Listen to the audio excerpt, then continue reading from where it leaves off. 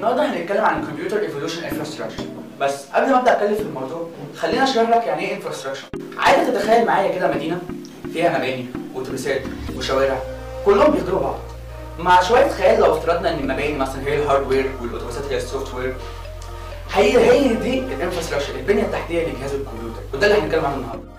في سنة 1952 بدأت شركة IBM بأنها تخترع الكمبيوتر الكبير وهو اللي اسمه ال mainframe.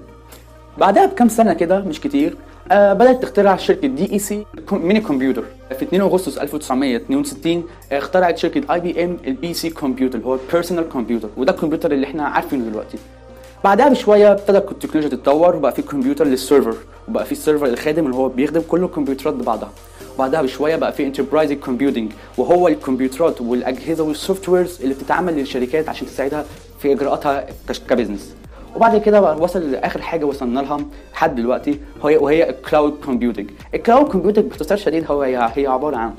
ملفات انت بتاخدها بتحتفظ بيها في, في ال cloud ده سواء تحتفظ بيها ك software أو ك hardware أو ك software وال hardware ومن ناحية ال client وال server ففي حاجة اسمها ال network ال network بتتقسم من اثنين two tiered و multi tiered ال two tiered هي بتبقى من client ل server بيدي له request ال client بيدي لل server request وال server بيدي لل client ال data وفي ال multi tiered هو client بيطلب من بيطلب من server معين request وال server ده بيدي ال server ال application ومن ال application بيوديه لل server اللي عنده الحاجة ديت ويرجعها تاني. دلوقتي infrastructure عندنا متكونة من سبعه components أولهم ال hardware ال hardware عندنا متكونة من ثلاث حاجات. ال client ال server ال mainframe. عندنا هنا ال client متكونة عندنا من ال PC من اللابتوب من ال PDA متكونة تحت ال hardware حاجة اسمها top chip producer متكونة من ثلاث حاجات ال Intel وال AMD وال IBM دخلنا بعد كده على حاجة ثانية اسمها ال operation system اللي هي ال OS ال OS دي عندنا متكونة من حاجتين أولهم ال server level وتاني حاجة اسمها ال client level ال server level عندنا زي ال Windows Unix Linux عندنا تاني حاجة بقى اللي هي ال client level اللي هي متكونة من Android Google Chrome iOS كل دي حاجات تحت مسمى أو تالت حاجة هي ال enterprise software application اللي هي متكونة عندنا من SAP و Oracle SAP و Oracle دول بيبقوا شركات وبرامج. دخلنا بعد كده في رابع حاجة اللي هي ال data management and storage واللي هي متكونة عندنا من hardware و software وال hardware عندنا متكونة من hard و SAN وال SAN دي شبكة من شبكات ربط ال software ببعضها. وخامس حاجة اللي هي ال network واللي هي زي ال Cisco.